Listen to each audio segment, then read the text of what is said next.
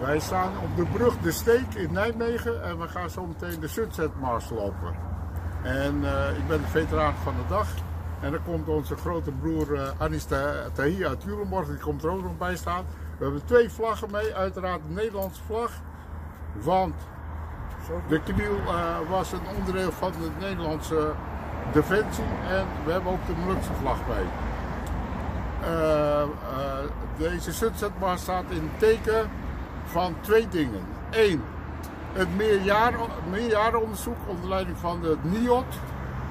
En uh, nog twee instituten uh, waarin alle veteranen die in Nederlands-Indië actief waren, dus let wel, alle, uh, alle Indië, ook alle Indiëgangers, alle knielers, of het nou Ambonezen waren, Indo, Indo's, noem maar op, die worden daar afgemaakt als zijnde oorlogsmisdadigers.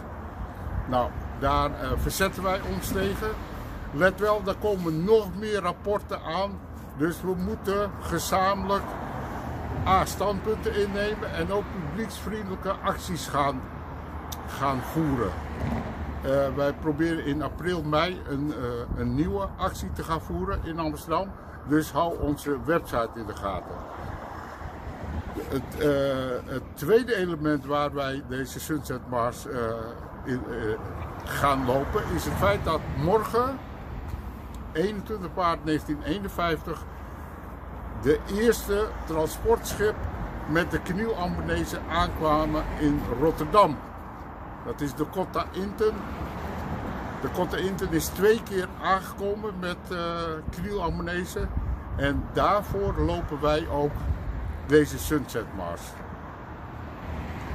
En de Sunset Mars is een loop ter ere van veteranen van de Airborne Divisie, de Amerikanen, die in 1944 de steek maakten over de, rivier de Waal.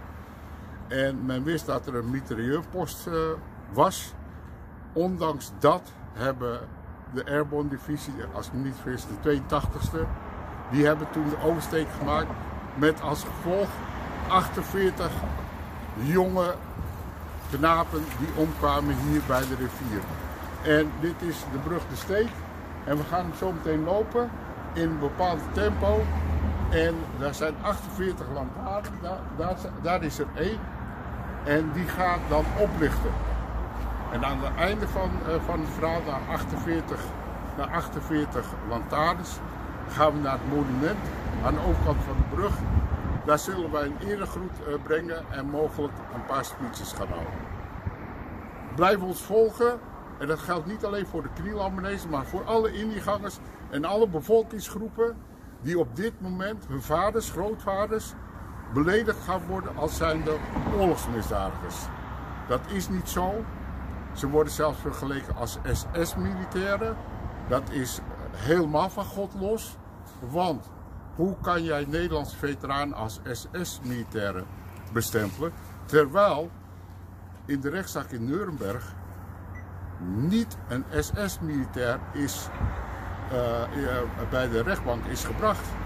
En nu, 71 jaar na dato, in Nederland, ja Nederland is Nederland niet meer, zijn we heel, helemaal, van, van, van, helemaal van het padje af.